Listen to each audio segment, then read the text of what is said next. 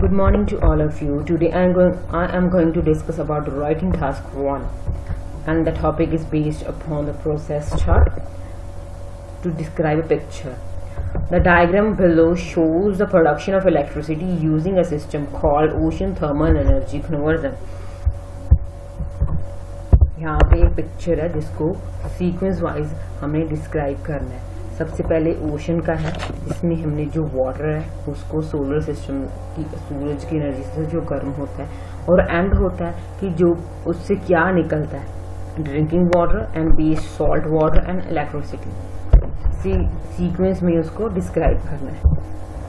The figure illustrate the process of electricity production through ocean thermal thermal energy conversion O T E C Overall, the ocean thermal ener energy conversion system converts the heat energy into the electricity by crossing through the different stages.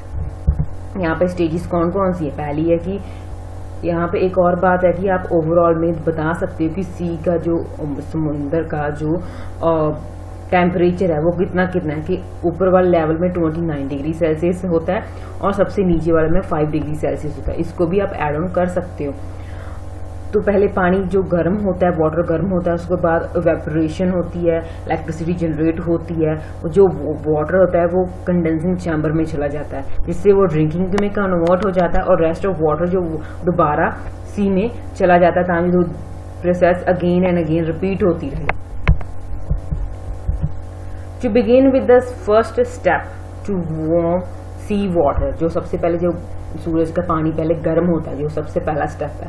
The hot sea water is converted into the water vapours by solar energy जो गर्म पानी होता है, वो vapours में convert हो जाता है सूरज की एनर्जी की वजह से, गर्मी की वजह से। And this warm water introduced into the evacuated evaporation chamber जो अगला चैम्बर है, उसमें चला जाता है where it boils in the next stage when the water is boiling the salt is deposited. And this saltless water vapors turn on the turbine to generate the electricity. पहले बताया कि जो वाटर गर्म होता है, वो जाता है इवेक्यूएटेड इवेपोरेशन चैम्बर में।